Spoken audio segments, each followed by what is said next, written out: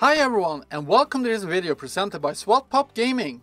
This video is aimed at all of you that want to know more about the foundation of web development.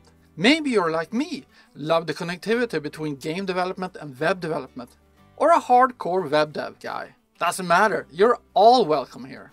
I thought we should have a talk about HTTP methods. And today, let's talk about the GET method. First of all, what is the GET method? Imagine the internet as a vast library and every web page is a book in this library. The GET method is like your request to a librarian asking to see the book titled The Great Gatsby. Just as you ask a librarian for a book, your application or browser uses the GET method to request information or resources from a server. Whether it's a web page, game asset, or any other data acquired by your project. It's simple, straightforward, and used every time you enter a URL in your browser or click on a link. When your application or browser uses the GET method to request information or resources from a server, the server responds with the requested data. This response is typically sent back in the form of HTML for web pages, JSON for APIs, or other relevant formats depending on the type of resources requested, for example image files, audio clips, or game assets. Every time you make a GET request, you might want to provide specific details, like asking for books on the particular topic. This is where we use the GET parameters. Imagine this parameter as little notes attached to your request saying, I want books, but I only want books about cooking. In the world of the web, this translates to additional information appended at the end of the URL, making your request more specific. This additional information is structured in what we call key value pairs. In the URL, the first key value pair follows a question mark, and any subsequent pairs are separated by ampersands. Each pair has a key, which is the name of the parameter, and a value, which is the information requested. For example, in this URL, Category and ingredients are keys, while cooking and tomato are their respective values. The server uses these parameters to understand exactly what information you're looking for, much like how you would specify details to a librarian. Let's delve into the pros and cons of using the GET method. The GET method is straightforward to use and understand. For example, when you share a link with someone, you're essentially using the GET method. This simplicity makes GET requests ideal for begin web developers to grasp.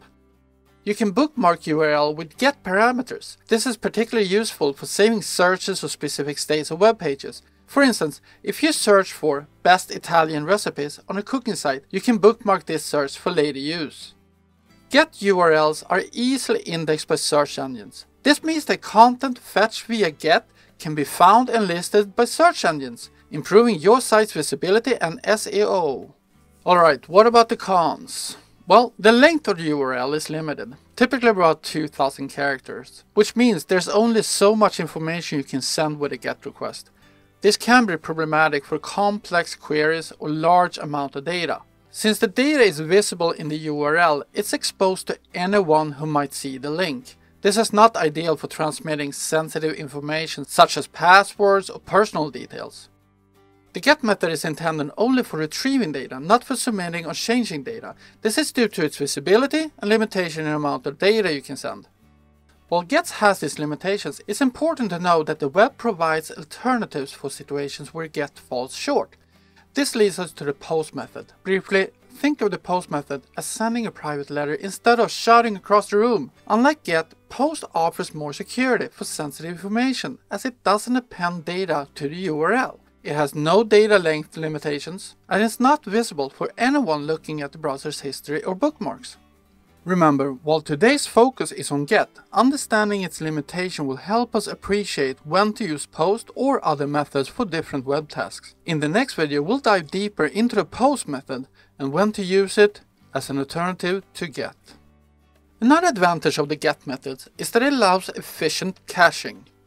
This means that browsers and servers can store the content fetched by the GET requests.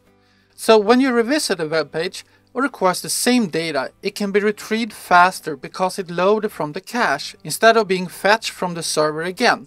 This improves loading time and reduces server load. While caching is an important aspect of GET requests, it's a complex subject that deserves its own discussion. Stay tuned for a future video where we'll dive into caching and how it impacts web performance and user experience. As we wrap up our discussion on the GET method, let's highlight three golden rules every web developer should follow to ensure security and efficiency. Keep sensitive data out of your GET requests. It's crucial to remember that anything sent through the GET request can easily be seen in the URL. This visibility means sensitive information could be exposed in browser history, server logs, or even seen by someone looking over your shoulder, and therefore never ever use GET for transmitting private information like passwords, personal identifiers, or payment details. Always validate and sanitize inputs. This is your first line of defense against malicious attacks. Validation means checking that the data that you use or enter is what you expect, such as text in a name field or numbers in a phone field. Sanitizing means cleaning the data, ensuring that it contains nothing harmful, like scripts that could lead to cross-site scripting or XSS attacks. Implementing these steps helps keep your web application secure and user-friendly. And lastly, the principle of least privilege. This principle advises that you only request and access the data or resources absolutely necessary for your particular operation. By limiting access and data requests to a minimum, you'd reduce the risk of data breaches and enhance the security of your web applications. By adhering to these principles, you're not only safeguarding your applications and users, but you also contribute to a safer, more secure web ecosystem. Remember, the GET method, while powerful and essential, comes with its sets of rules and best practices. As developers, it's our responsibility to use it wisely and securely. Thank you for joining me. If you found this explanation helpful, give us a thumbs up, share, subscribe. Until next time, keep coding.